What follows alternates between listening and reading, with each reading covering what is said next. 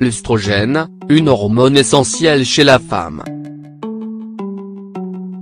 Les hormones sont essentielles pour décrypter certaines humeurs, en particulier chez les femmes. Le genre féminin est souvent entouré de questions, dont la réponse prédéterminée va de pair avec ces substances qui dominent le corps des pieds à la tête. Parmi ces hormones se trouve l'estrogène. L'estrogène.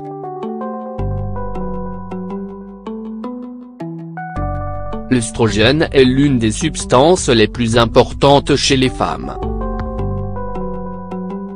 Elle est responsable de la pousse des seins, des menstruations et de l'élargissement des hanches. À la puberté, sa production augmente, stimulant la maturation de l'utérus, de l'endomètre, des trompes de Fallope et du vagin. Les hommes et les femmes sécrètent de l'estrogène dans le cadre d'une stratégie naturelle visant à garantir la préservation de l'espèce. Bien que ce soit les femmes qui ressentent le plus ces effets au cours de trois moments fondamentaux, la puberté, la grossesse et la ménopause. En général, la principale tâche de l'estrogène est de garantir le bon fonctionnement du corps pour l'ovulation et la fécondation ultérieure. Il intervient également dans d'autres processus, tels que le contrôle du taux de cholestérol dans le sang et le métabolisme des graisses. Type d'œstrogène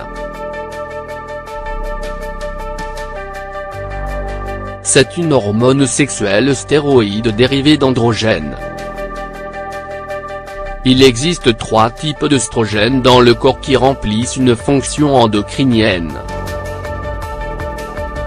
Tous agissent sur le noyau des cellules qui régule la synthèse des protéines. Estrone, dont l'enzyme aromatase est acquise par la synthèse de progestérone. Sa production a lieu dans les tissus adipeux et les ovaires. Estradiol, qui tire l'enzyme aromatase de la testostérone est disponible en abondance dans le corps pendant les années fertiles. Estriol, synthétisé par l'androstérone est présent en très grande quantité pendant la grossesse. Un cerveau sain grâce à l'estrogène. Les ont un effet préventif sur les maladies cérébrovasculaires. Une autre de leurs tâches vitales, elles agissent positivement sur le fonctionnement intégral du centre de commande du corps humain.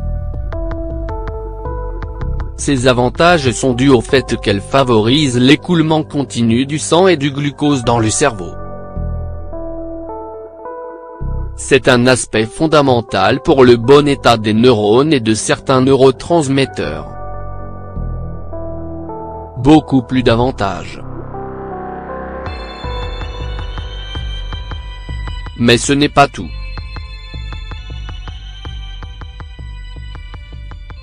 Les hormones sexuelles féminines, en plus de réguler le bon fonctionnement du cycle de reproduction et de collaborer avec les androgènes pour stimuler la libido, soutiennent également le développement des organes sexuels secondaires. De cette manière, la pression artérielle est abaissée et les os sont protégés, grâce au fait qu'elles interviennent dans l'assimilation du calcium en plus d'avoir un impact positif sur toutes les tâches du système urinaire. Pendant la menstruation, les niveaux de cette hormone varient radicalement. D'où les sautes d'humeur que certaines femmes peuvent connaître durant cette étape. L'irritabilité, l'insomnie, l'épuisement des facultés cognitives et des épisodes d'anxiété sans raison apparente sont quelques-uns de ces signes.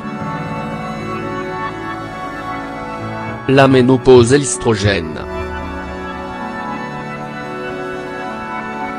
Lorsque la ménopause survient, la production d'estrogène est réduite brusquement, ce qui entraîne de grands changements dans tout le corps.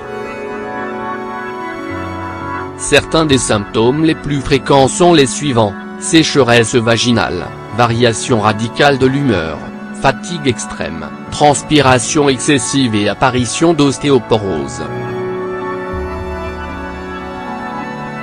De plus, les risques de maladies cardiovasculaires augmentent également.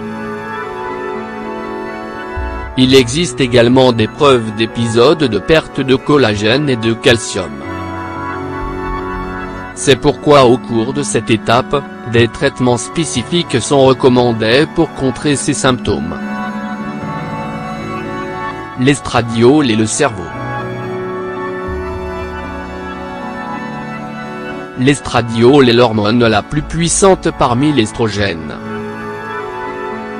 Il joue un rôle vital dans les fonctions motrices et est également lié au processus de la mémoire et de l'apprentissage, ainsi qu'à la sensibilité à la douleur. Certains spécialistes attribuent même à l'estradiol la capacité de protéger le cerveau contre les dommages pouvant être générés par des maladies telles que la maladie d'Alzheimer. Une alimentation saine sera capable de permettre une régulation hormonale idéale.